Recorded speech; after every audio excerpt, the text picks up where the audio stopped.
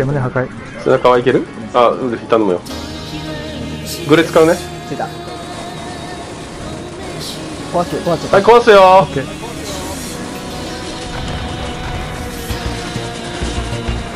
ボタン？はい、あとボタン全部。ボタン全部全部全部全部。肉肉肉肉4いく4いく4いく全部いけたいけたね、全部いけてます。ニータニータニータ。オッケーナイスあー竹川あー胸胸胸胸。胸オッケー。オッケー、オッケー。ナイスです。したおいける？いけるか？まだ、まだいけない。オッケー、倒すよ。うん、お願いします。これいけるこれいけるうん、いいよいいよ。うん。くよこれ全員でいったいった。もう決めちゃおう。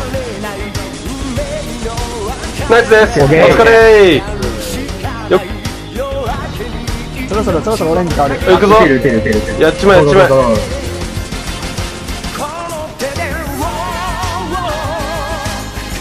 ヘッド取った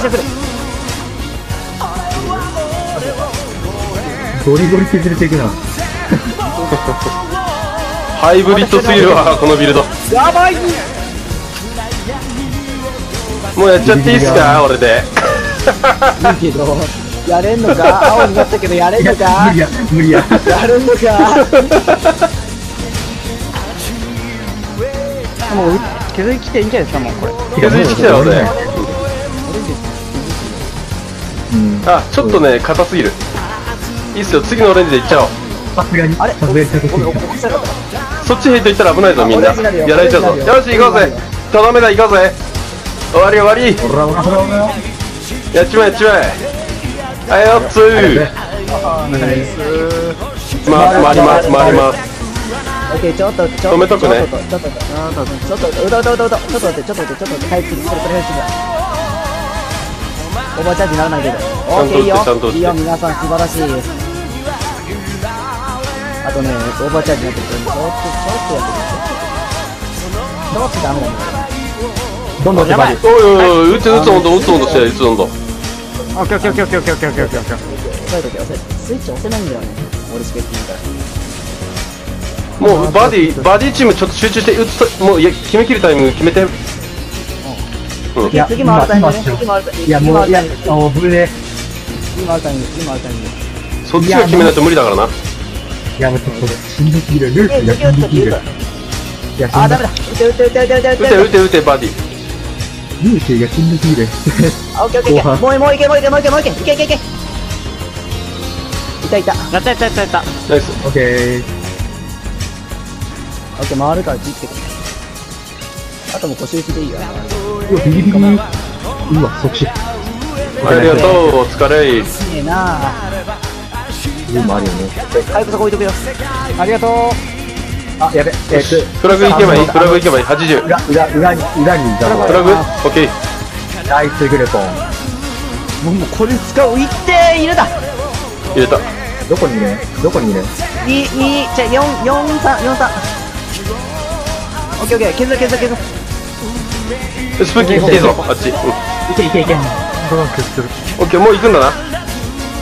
いきますよもうそろそろ壊れますよ壊れたオッケーオッケー。めめめめめ。いけいけいけいけうわギリギリお前タイミング悪いオッケーこれオッケーオッケーオッケーオッケーオッケーこれこれこれこれこれ。かけはい切りはい切りはい切りあいつあいつあいつあいつ。おっしゃ、行くぞ三から来い三から来い。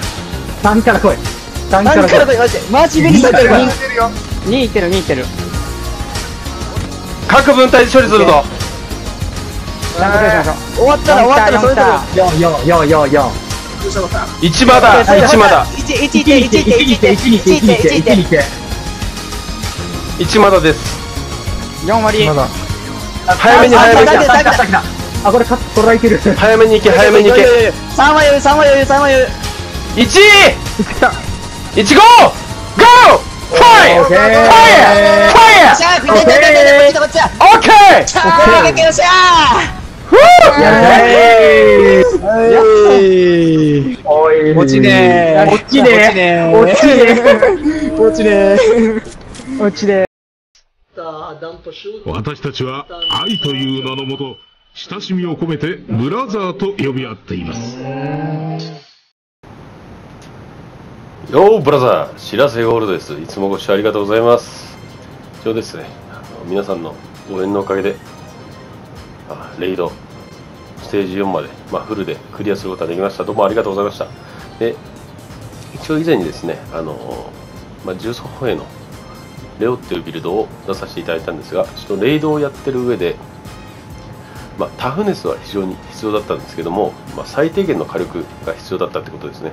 えー、と DPS のチェックと、あと、プラスして説明すると、DPS のチェックだけじゃなくて、タフネスチェッカーも入ってまして、まあ、紙走行でもダメで、まあ、正直レイドですね。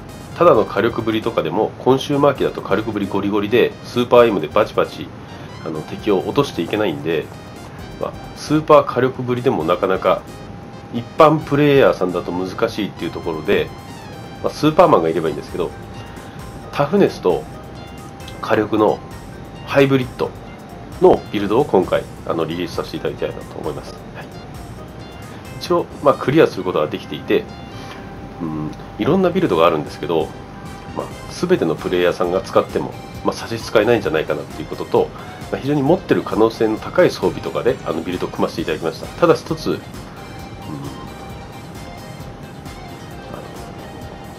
まあ、ブランドセットババッチャタフっていうところがあるんですけどもこれも入れさせていただいてるんですけどもこれはちょっと持ってない方おられると思うんでそれは適宜で合わせていただければと思います。では説明します、はい、まずはあの僕はあのタンク側の担当なんで、まあ、アーマー27万以上 HP はまあ10万これをアーマーの方を上げれるんだったら上げれるだけ上げてしまった方がいいんですけど、まあ、火力落とすぐらいだったら、まあ、これぐらいの設定であの十分あの最終ステージもダウンなしでいけました。はい、で、えーと、デモリッショニスト。今回これを使って火力を出してるんですけども、最終ステージはあの早くクリアするのであれば、サバイバリストの矢が必要になりますんで、最低でもパーティーに4人サバイバリストを入れるっていうのが前提で、まあ、火力ぶりのあの方があの例えばサバイバリストを使って、まあ、アサルトの火力の方であったりの編成もあの入れても大丈夫です。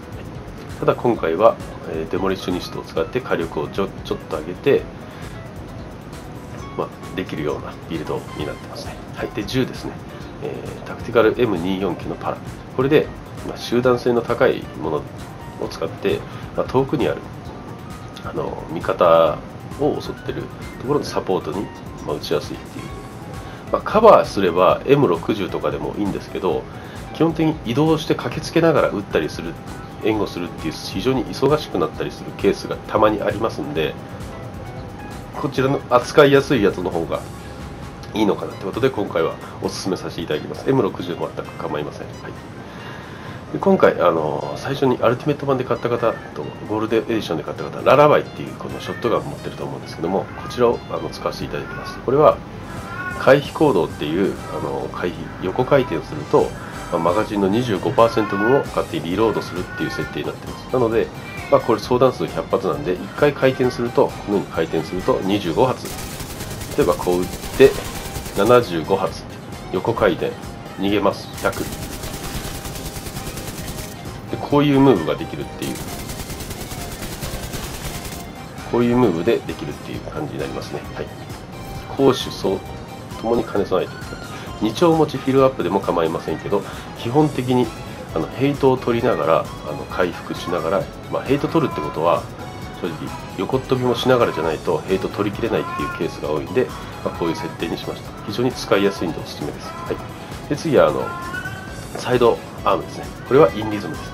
これリバイバーハイブを使ってしまって残りあの、まあ使ってしまうとしばらく回復できないんであの、まあ、継戦するのに大変だと。で今回はカットをしまくるっていう設定なんで E ニズム5%クールダウンリセット。これが非常に有効かなっていうことになります。で次えーとマスク。これここはバッチャータフになりますね。これエリートダメージ7%つけて、まあ、できれば HP とか持ったりとかして HP パーセント持ったりとかしてえー、と対エリートダメージのこれ40%以上50%あればよし、まあ、42%ぐらいあれば、まあ、十分9大点がねだからマスクで50%近くを盛れる設定にはなってます。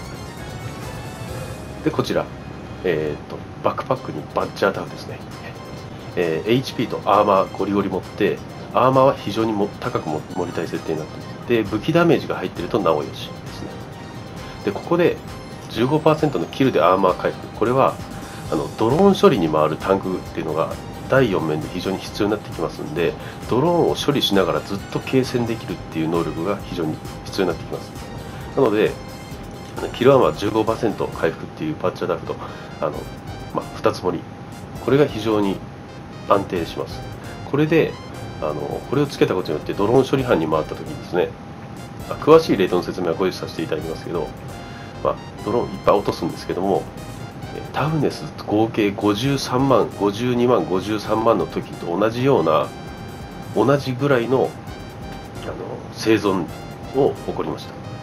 一応これは非常にドローン処理班に回る方は有効です、はい、でこちらフェンリスのこれはあのアサルトライフルを使わないんですけどもアンブレイカブルとハードヒット。これあのアサルトダメージエルマシつけた方がいいんじゃないかって思うかもしれないですけどここでハードヒットを入れることによって相手のドローンであったり犬であったり、まあ、1ラウンドから継続して1ラウンド2ラウンド3ラウンド4ステージ目。これは非常にエリートダメージが有効なんですね。どのステージも平均して戦える。なのでハードヒットを入れて、まあ、あのやることによって、まあ、回避それは解決できます。だからアンブレイカブルで生存率を上げてハードヒットを入れるっていう設定。でアーマー値と HP 値を結構高めにして生存率を上げていくっていうフェンリスのボディが最適です、はい。でこちら村上のあの手ですね。これ村上の手じゃなくてもいいです。ただできればここまだ僕できてないんですけどもライトマシンガンダメージ12%とここのプリサイスをハードヒットに変えるとなおよしですね。そうすると火力は抜群に上がるんでそこだけ皆さんあのしっかりやってくれると非常にいいビルドになると思います。これは村上じゃなくてもいいです。ただ HP とアーマー値がもともと高い村上を使わせていただきました。バッチャータフノのこの武器ダメージもできれば持っていただけると非常にありがたい。でこれ完成されてません。フェンリスのヘッドショットダメージとこも武器ダメージをがっつり盛るとすごい威力上がって火力盛りのあの火力タフネスしっかりもらえたあのハイブリッドなビルドになります。レイド用では完璧だと思います。で、えーとこちら、えーアイラルホールディングス。これ別にアイラルじゃなくてもいいんですけどもあの一応ライトマシンガンということで命中力を上げる設定あとはハードヒット特性タレントが乗る設定を選ばせていただきました。なのでこちらにしました。で、えーと特性の HP3 万これ4万とか5万とかあるんですけどそれをねぶち込んでいただければ非常に生存率が上がります。ここはあの別にお好みで別のつけていただいても構わないです。あのギラガードとかもいいんですけどただやっぱりここにハードヒットを入れてください。これで非常に全体的な戦いやすさが生まれます。レイド用ですあくまで、でこちらフェンリス。あの膝はフェンリスにしました。タレントにハードヒットと忍耐力。こちらアクティブタレントと特性タレントが両方つくっていう設定のフェンリス。でプラスあのボディフェンリス無駄じゃないです。あの足膝にもつけることに対エリート防御10%アップしますんでこれはあの非常にタフネスと攻撃力両方補えるあの、まあ、内容としてはかなり重要ボディにフェンリスを入れざるを得ない。だけどそれは無駄にならないっていうのがこの2つ目の膝フェンリス膝であの確定します。忍耐力も非常に必要になってくると思います。はい、でちょっと駆け足で説明しました。えー、とモッドに関しては、まあ、持ってるモモッドが非常に個々で違うと思うんで、まあ、できればエリーボー合計アーマー。でこちらは入ってない。でボディディフェンスプロトコル HP の回復味方味方からの回復。でここら辺でコントロール武器ダメージ上昇、ここら辺をあのプロトコル系で入れていけば別にあとはあのビルドの骨組みだけで十分なんで骨組みができて、まあ、欲を言えば特性とところにあの武器ダメージ。ここの武器ダメージ4%をもっと上げる。HP のところ特性もっと上げる。張ってくるっていうことをやると非常に安定するんじゃないかなっていうふうにでここでえっ、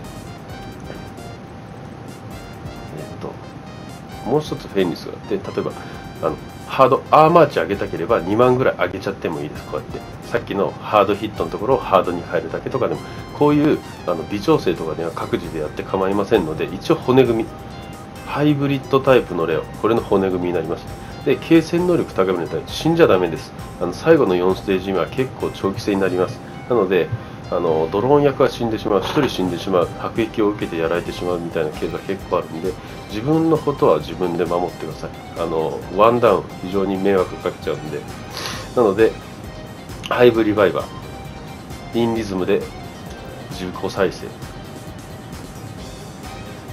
で、えーと、カバー入る前にケミランチャー自己回復。相手のこと考えるのもいいですけど、自分が生きていることが相手のためです。っていうことがこの今回今回のレイドの、えー、教訓。で先ほど DPS チェックとあのタフネスチェックってやったんですけど DPS チェックに関してはあの最初のブーマーあれは結構時間制であのタレットを壊されてしまうんで、まあ、それの間に決めきるだけの DPS これは十分これあります。ヘッドショット8万以上とかのライトマシンガン継続でバチバチ与えれるんでそれが、まあ、何人か揃っていれば十分に削れる。DPS チェックは OK のビルドです。で、えーと、防御の方ですね。あの最後の方とか途中であの犬がワンパンしてくるんですよね。その犬スナって言ってロボットのスナイパー。であったり3面に出てくるルーシーとかそこら辺があのガトリング打ってきたりスナイピングしてくる。これがワンパンで死んでしまうようなスーパー火力ビルドだと正直あのレイドをやるならあの無理ですね。タフネスビルドとしてタフネスは最低限でも犬にワンパンされないビルドを組んでくれないとあのそれによってあの火力が例えばあの15万の火力を与えれるところ14万13万に落としたいでもワンパンで倒れないビルドそっちの方が助かるんでレイドではあの転ぶ転んでリバイバーハイブ自分で蘇生できない時点であのビルド構成としてはアウトだと思っていただいて構わないです。最後の4ステージ目はあのキット治療キット使わないでクリアすることが全然できるんでできればハイブリッドのある程度犬にワンパンされない最低でもアーマーチ30、えーと、タフネスが合計で30万前後でであのエリート防御に多少振ってサバイバリストをつければエリート防御増えますんでサバイバリストでこじ開ける役の方がそういう火力を火力ぶりにするといいと思います。これはあの間違いないです。あの結構転んでしまうとね大変なんで,、はい、で今回、ね、紹介させていただいたのが一応今回ハイブリッドのレイド用の新商品レオですね。で実戦の方は生放送で正直最初からまあ、初見からずっとやってますんでそちらの方を見ていただいた方はあの分かると思うんですけども今後あの簡単に、まあ、ちゃんとクリアしたぞっていうところで地面から4面まで投資で1つのビルドでいけるっていうところで今回は紹介させていただきますあとは動画攻略動画の方も今後出させていただきますんで一応参考にしてもらえばと思います、まあ、正直あのえっ、とビルドさえ組めていてギミック理解していれば今回のレイド難易度は高くないです。マッシブさんの判断は正しいと思います。レイドの難易度を下げないっていう。